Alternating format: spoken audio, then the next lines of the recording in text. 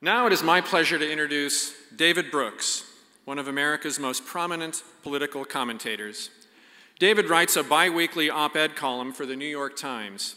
He's also a regular analyst on NewsHour with Jim Lehrer and National Public Radio's All Things Considered. And David has a gift for bringing audience, audiences face to face with the spirit of our times with humor, insight, and quiet passion. He's a keen observer of the American way of life and a savvy analyst of present day politics and foreign affairs. His newest book is titled The Social Animal The Hidden Sources of Love, Character, and Achievement. It's a story of how success happens to a fictional American couple. It illustrates a radically new understanding of human nature, what happens in the unconscious mind. David also has written two books of what he calls comic sociology on Paradise Drive, How We Live Now and Always Have in the Future Tense, and the New York Times bestseller Bobos in Paradise, The New Upper Class and How They Got There. David has worked at the Wall Street Journal and the Weekly Standard, and he's been a contributing editor at Newsweek and the Atlantic Monthly. You also may have read his work in The New Yorker, Forbes, The Washington Post, and many other periodicals. We are honored to have him with us here this evening. Please give a warm welcome to David Brooks.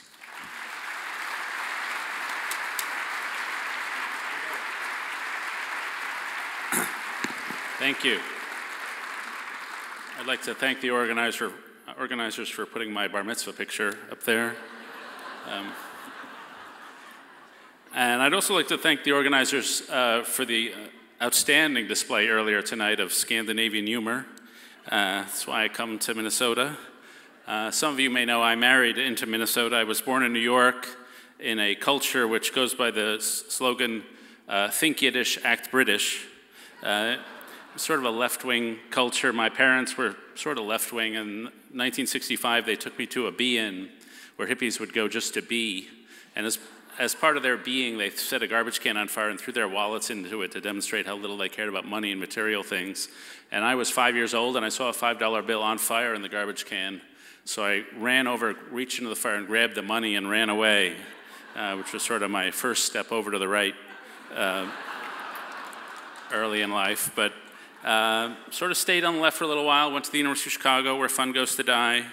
Uh, the other slogan about U of C is it's a, if I can get this right, it's a Baptist school where atheist professors teach Jewish students St. Thomas Aquinas. Uh, and so I marry a woman, or I meet a woman from Minnesota. She's from, uh, she says her family's originally from a town called Detroit Lakes. And I'm from New York, and to me, Detroit Lakes sounds like, is it that right next to Newark Meadows?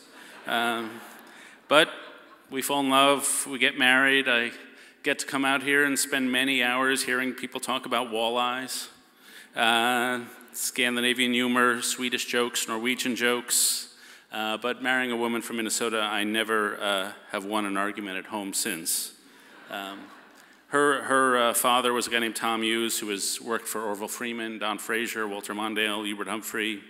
And so I've gotten developed great admiration for the Minnesota politicians, including the politicians uh, of today. Um, Governor Tim Pawlenty, who was at the dinner for five seconds but decided he should withdraw and left. Um, uh, uh, Senator Franken is not here, but he actually dresses like this on the Senate floor. Uh, and Amy Klobuchar, Senator Klobuchar, I I'll say it in front of her face, which I say all the time when people ask me uh, who are the rising stars of, the, of, of, Washington and the Senate in American politics. I mentioned Senator Klobuchar first and foremost. Um, I mean that.